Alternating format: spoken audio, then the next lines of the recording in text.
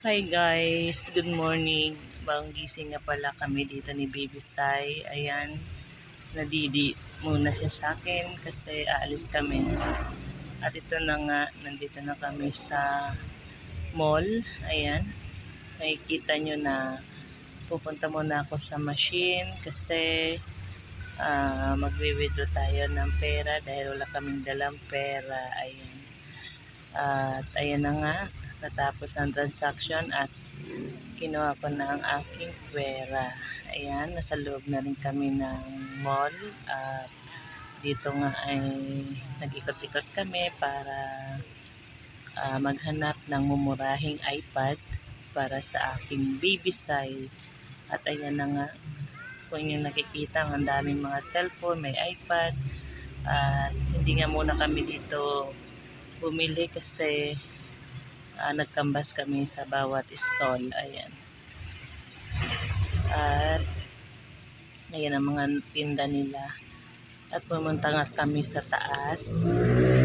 Ayan, sumakit kami ng escalator kasi mayroon pang mga stall doon na nagbibinta ng mga iPad na mumurahin lang.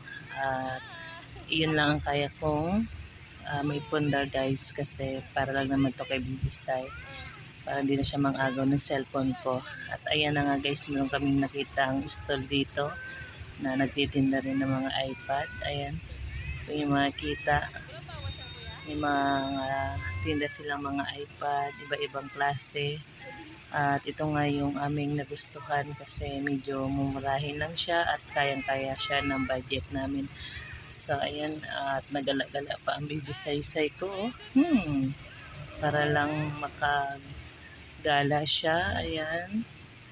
Makit-akit ng hagdan. Hindi tayo makontento sa isang tabi. At ayan na guys, uh, sinubukan na nga yung iPad na napili namin kasi uh, kailangan yan susubukan para uh, makita namin kung siya ay gumagana ba.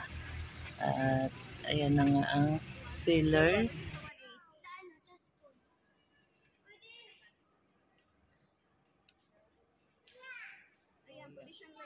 Ayan guys, oh, pinakita niya rin yung uh, lagay ng SIM.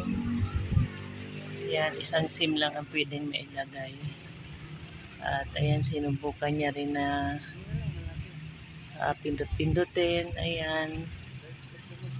Ayan, kung gumagana ba. Ayan, naka-charge din siya kung gumagana. Ayan, at at uh, sinubukan din namin yan kung mapipindot pa siya. At ito na nga guys o oh, ginagamit na ni Baby Sai. Um, nabili namin iPad. Talaga napakaseryoso niya sa kanyang i bagong iPad. Ayan. At wala nga lang siyang uh, hawakan guys na casing kasi hindi pa kami nakabili at yun pa yung pag-iipunan ko para makabili ng lagay ng iPad niya kasi kailangan lagyan yan dahil para may hawakan yung uh, iPad. So, um, ayan, tuwang-tuwa na siya. Hindi na siya maabala sa kanyang ginagawa. Uh, binilang ko talaga siya guys ng ganyan kasi yung cellphone ko lagi niyang uh, hinihiram. Ayun, kaya meron na siyang sarili. Ayan guys, thank you for watching. Bye-bye. Love you all.